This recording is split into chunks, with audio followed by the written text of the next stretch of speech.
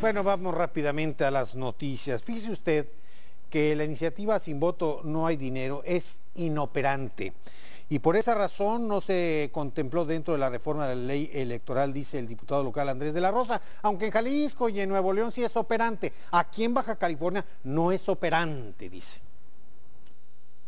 La iniciativa Sin Voto No Hay Dinero, que ha sido avalada con firmas de los ciudadanos tal como lo establece la ley, es improcedente y por esa razón no se contempló dentro de la reforma a la ley electoral en el rubro de financiamiento público para los partidos, dijo el diputado Andrés de la Rosa Naya, presidente de la Comisión de Legislación y Puntos Constitucionales del Congreso del Estado. Hay una, hay una situación de improcedencia jurídica en esa fórmula. ¿Por qué? Porque si nosotros aprobáramos aquí en Baja California en este momento la, iniciativa de Sin Voto No Hay Dinero, lo que nosotros haríamos es de entrada trastocar el proceso electoral del 2019. ¿Por qué? Porque resulta este, que por un lado, si generamos esa reforma en esos términos, vamos a hacer una regulación asimétrica.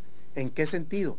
en que esa, esa fórmula de distribución de financiamiento público de sin voto no hay dinero solamente se le podría aplicar aquí en Baja California a los partidos políticos nacionales, no a los partidos políticos estatales. Agregó que hay otra iniciativa ciudadana que sí es procedente y que sí se analiza dentro de esta reforma a la ley electoral. Estamos tomando en cuenta una iniciativa ciudadana presentada por un grupo también de ciudadanos encabezados por el licenciado Fernando Rosales, que es precisamente para generar esa reforma a nivel federal en el tema del financiamiento público.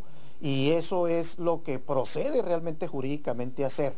Y esa iniciativa ciudadana sí la estamos considerando porque precisamente el planteamiento que están haciendo es correcto jurídicamente hablando. La distribución y financiamiento público para los partidos políticos es un tema que ha dado mucho de qué hablar. Incluso Coparmex ha señalado que los partidos no deben recibir recursos en tiempos no electorales.